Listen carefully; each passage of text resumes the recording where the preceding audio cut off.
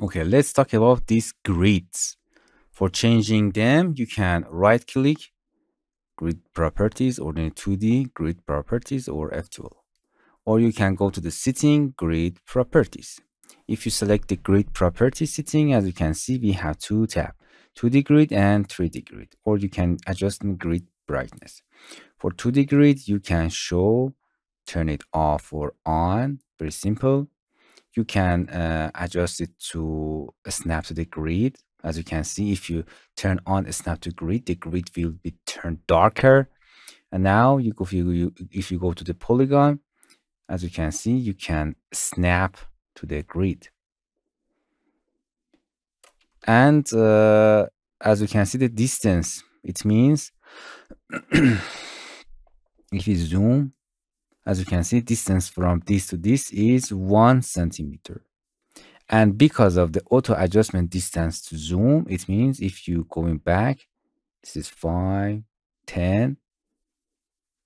As you can see, automatically uh, delete the inner box for showing better as you can see and if you don't want to auto adjust you can turn it off and as you can see this is one centimeter one and it's always fixed. This is all about auto adjust and the distance. You can change the distance between the grids any number in centimeter that you want. To the arrow key movement one centimeter. If you go into edit pattern and select one pattern, you can uh, snap it or adjust it. You can right click and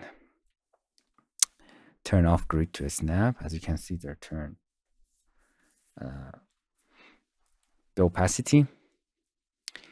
And here you can move it. Or you can move it with your arrow key with the left, right, up, down.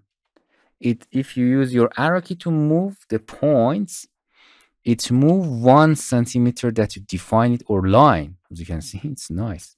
With, with, your arrow key, you can move them. Right click. And this through the arrow key, key, key movement in the centimeter is here. You can define it. Another thing, it's in a 3D, 3D grid. You can turn on or off. You can move your object in a 3D K movement one centimeter as 2D. And here you can change the opacity of the axis just. Nice.